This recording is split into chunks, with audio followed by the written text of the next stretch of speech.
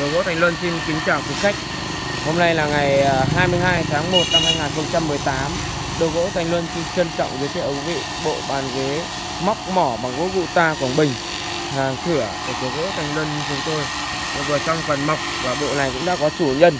Đó là anh khách hàng, anh ở Thanh Trì, Hà Nội. Và ngoài bộ này ra chúng tôi còn trong một bộ nữa. Ngày hôm nay là chúng tôi trong hai bộ thì là một bộ đã có chủ nhân ở Thanh Trì, Hà Nội còn một bộ nữa đây, đang chờ đón quý khách khách nào có nhu cầu liên hệ trực tiếp cho nên chúng tôi để sở hữu và hai bộ móc mỏ, gỗ vụ ta, quảng bình này là hàng thửa luôn, hàng vip hàng dày dặn, to, cao, dày rộng hơn hàng thông thường. Rất nhiều.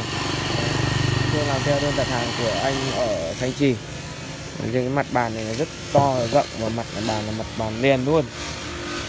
Khuôn tranh này rất dày dày hơn hàng thông thường rất là nhiều. Và ván mặt này cũng vậy, ván mặt này ván mặt bàn này, ván mặt ờ, ghế này, cực kỳ là dày dặn. Và cái phần ờ, ờ, vách tựa kia, vách tựa chúng tôi là đục tứ quý, vách gỗ đục tứ quý tùng cúc trúc mai và ở giữa chúng tôi là đục sen cò rất giá trị, sang trọng này, giá trị cho mai sau.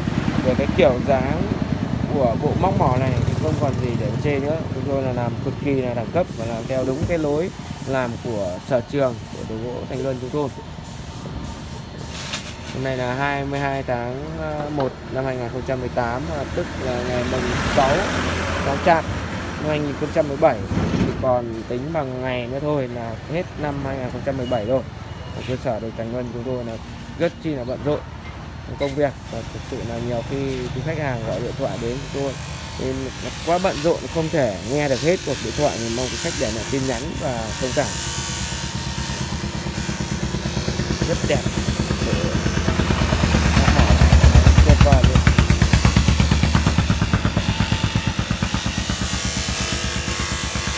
Video quý vị đang xem chúng tôi quay tại cơ sở một cửa đồ gỗ Thành Luân nằm tại đầu thôn Ngải Khê xã Tân Dân huyện Phú Xuyên thành phố Hà Nội thuộc và gần nằm ở cạnh cây xăng Tân Dân.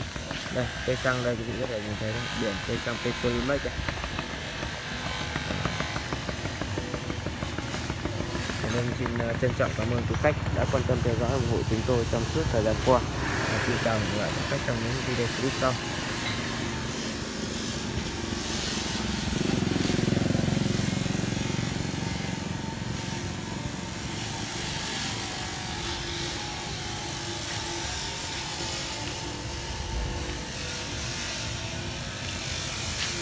Rất rộng và cái yếm vàng như vậy. Yếm là rất dày, yếm này dày ba phân, khuôn mặt ba phân động, và ván mặt là dày động phân rưỡi.